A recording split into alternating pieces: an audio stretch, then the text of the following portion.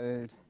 Today it's my 19th day of climate fast beginning now.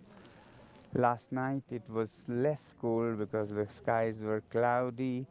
It was minus 3 and together with me there were some 200 people sleeping out in the open for the safeguard of the sensitive, fragile ecology of the mountains in Ladakh, the glaciers, the unique indigenous tribal cultures. And I'm feeling a little better now after two days of low energy, so I'll share some ideas with you. You know, we have done so much damage to nature in the name of development and growth. Our current concept of growth and development is so anthropocentric, so human obsessed, that we have decimated everything else, all living beings, all non living beings that share this planet with Earth. So, let me share a crazy idea. How about having nature representatives in our parliaments that can advocate for nature? The idea may shock you, but let me put it this way.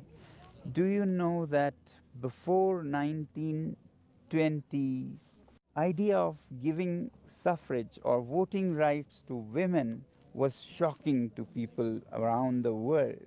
It was only in the early 1900s and finally in 1920 when US passed the law for women's voting rights that this became a normal, natural thing today. We can't even think of women not being able to vote today.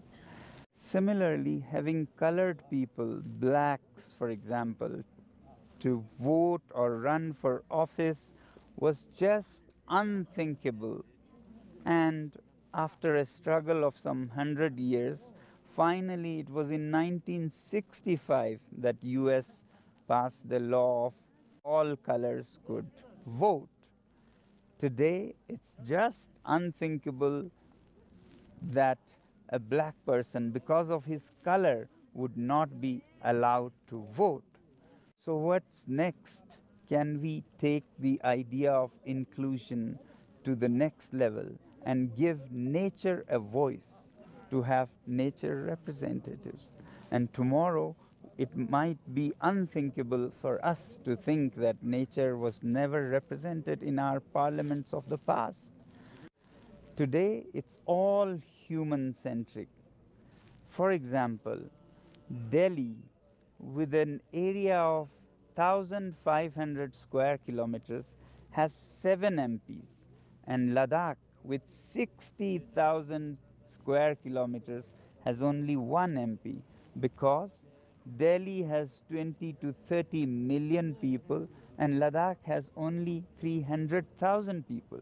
But Ladakh is not just these 300,000 people, it's a lot of vast wild nature, glaciers that we depend for our lives. All this is not represented in our parliaments for policy making.